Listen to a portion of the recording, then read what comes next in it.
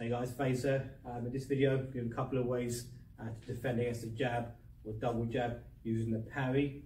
Okay, so I'm going to use uh, George Benton as my example and how he would um, defend against a jab using the parry and slip from the Philly shell stance.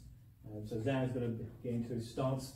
Uh, the first one to do, Zan's going to parry the jab and then slip the jab to the outside. To throw a jab, he's going to parry and then slip the jab to the outside. Okay, so I can use the parry and slip against the um, against double jab.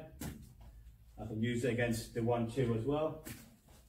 Okay, so now in this video I want to show you three ways what to do after the slip. So you're not going to just stand there after slipping. You're going to do something after that slip as well. So firstly, Dan's going to do the parry slip and he's going to pivot off.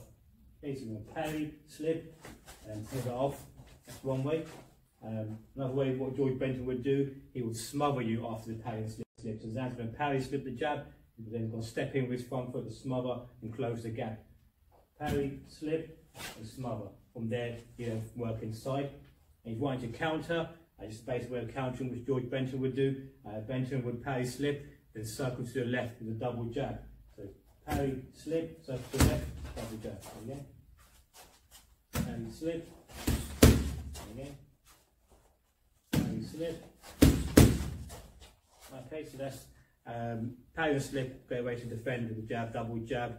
Um, and there's also three ways now you can use uh, what to do after that slip. Uh, so the first way was parry, slip, and pivot, change the angle. Second way was parry, slip, and step in, close the gap, and work inside. The last way was countering, parry, slip, double jab, circle to the left as your counter punch. Okay.